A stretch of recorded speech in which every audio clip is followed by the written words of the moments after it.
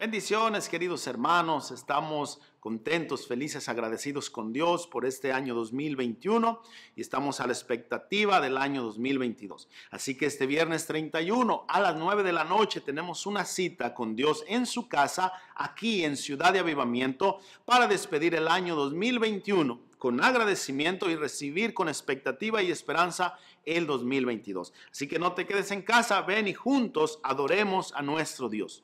También el domingo 2 de enero a las 3 de la tarde tenemos nuestro primer servicio glorioso. No te lo pierdas, sé parte de lo que Dios está haciendo. Bendiciones.